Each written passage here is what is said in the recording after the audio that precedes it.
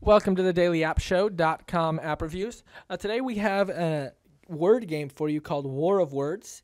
Uh, you can see here. So we're going to go ahead and open up our app, and it's going to show us our little splash screen green as it loads. Uh, now, a cool thing about this app is uh, it's not your traditional board game app. This has a lot of different action tiles and things like that that are going to help you uh, win against your opponent. So we have our main menu here. You can see we have new game, achievements, high scores, settings, help and rules. We also have down here our main menu, our active games or our finished games. If we go into our settings, we can uh, change, we can accept, you know, randoms. We can put our email and phone number in there if we want to help people find us easier. You can change, you know, sound effects on and off, things like that. You can actually even change the game background to even uh, a picture of your own photo or something like that, or you can just select your own. Um, if that's what you want to do too. So we're going to go back and we're going to start a new game.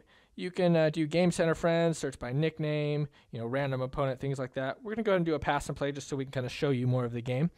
Uh, and you can change your player if you want. So we can go ahead and hit New Game. Now you can either choose a random board or go through these boards as you like. And you can see that each uh, board gets harder and harder, and you can customize them with uh, limit swaps, shield tiles, or balanced distribution if that's something that you wanted to do too. So we can go ahead and go, and we're going to start, you know, just a words with bombs. This first one here, so we can kind of show you what it's all about. So we're going to go ahead and generate our board, and you can see that we have a couple different tiles too. Um, so we and we have question marks above them. So we can go ahead and hit the question mark. It's going to kind of show us a little tutorial of what it is. This is the wild card tile, uh, and it could be any letter that we uh, want it to be. We can go ahead and spell the word wild because we want that to be an I. Bam. It is now the word wild, even though it's blank. Uh, and now we can also, it's not just stuck as a C or as an I. We can now have it be a C for a wild card. So that's cool too. Any letter that we want it to be. There's also this little uh, shield or this little uh, metal uh, bracket here. We hit the question mark. This is the barricade tile and it was will block other tiles. So we can go ahead and block. We don't want our opponent to get this four times uh, word bonus here. So we can go to block them. Bam, they can't go there and play off our W. So we're going to go ahead and play and go ahead and uh, show you a little bit.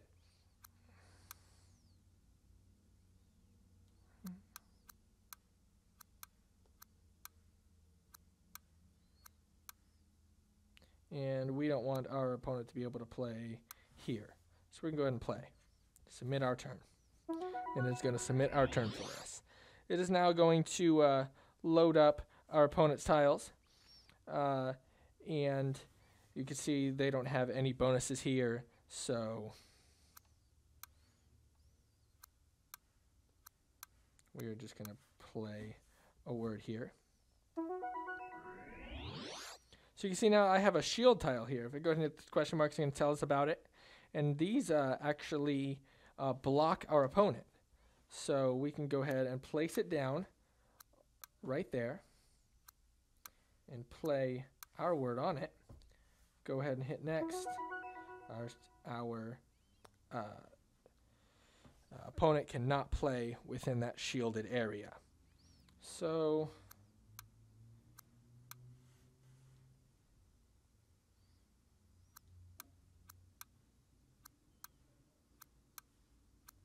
ahead and throw this shield down right here so our opponent cannot play. We're going to submit our turn.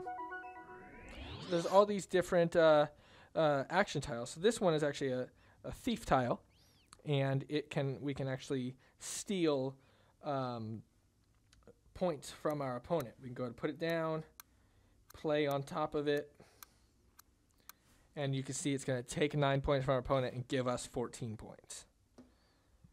So bam, we did that. And that's what that is for. So say we wanted to uh, play here.